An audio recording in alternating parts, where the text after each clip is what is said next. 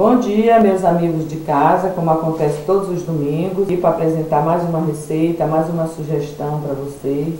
E hoje eu estou trazendo um bolo gelado.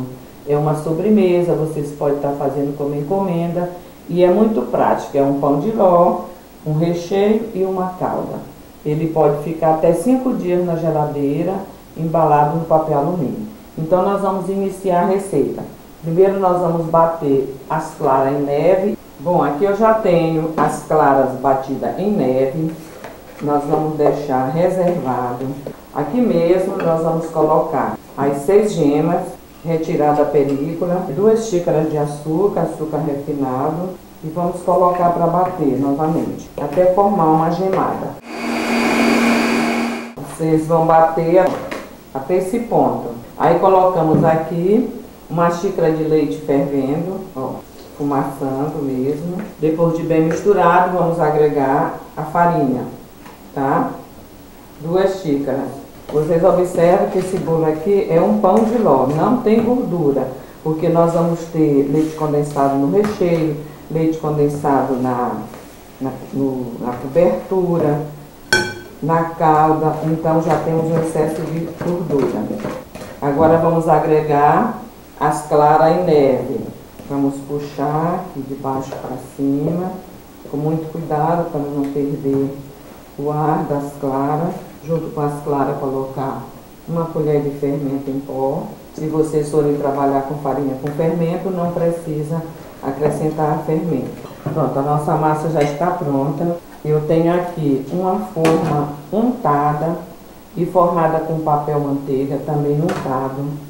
Essa forma é de fundo falso, é melhor da gente retirar o pão de ló quando está assado, mas se você não tiver, pode assar na forma que você estiver em casa. Se não tiver o papel manteiga, só untem a forma em farinha. Agora nós vamos levar para o forno, forno pré-aquecido, 180 graus, mais ou menos uns 30 minutos. E continuando nossa receita, enquanto o bolo assa, nós vamos fazer o recheio. Para esse recheio, nós vamos precisar de uma lata de leite condensado, aquela de 395 gramas, meia caixinha de creme de leite, 15 colheres de leite em pó e uma colher de sopa de emulsificante para sorvete. Nós vamos bater. Pronto, aqui o nosso recheio já está pronto, vamos deixar na geladeira enquanto o bolo assa. Aí vamos pegar aqui meia caixa de leite condensado, só meia um vidrinho de leite de coco de boa qualidade. Isso aqui é a calda para molhar o bolo. Aí a gente vai misturar e vamos aguardar o bolo ficar pronto e frio para a gente rechear e finalizar a nossa receita. Aqui já está o nosso pão de ló assado. A gente vai partir aqui ao meio, duas bandas. Essa calda aqui nós vamos molhar. Aquele recheio que nós fizemos, quando terminamos de colocar o bolo no forno. Coloquem na geladeira enquanto o bolo assa e esfria. Aí a gente vai colocar aqui esse recheio. Depois você vai cobrir com a outra banda, torna a molhar e salpica coco ralado. Não precisa levar ao fogo essa calda, porque esse bolo é gelado, ele permanece na geladeira o tempo todo, então não tem necessidade de vocês cozinhar essa calda.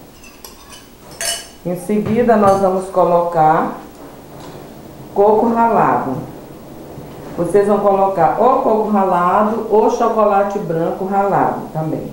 Agora nós vamos cortar e embalar no papel alumínio e levar para a geladeira. Papel, sempre o, o dourado para cima, que é o que entra em contato com o alimento. Bom, espero que vocês tenham gostado da sugestão. Aqui está o nosso bolo gelado, que vocês podem estar fazendo hoje para a sobremesa aproveitando para comercializar e espero que vocês tenham um bom domingo e um bom início de semana. E até o próximo domingo.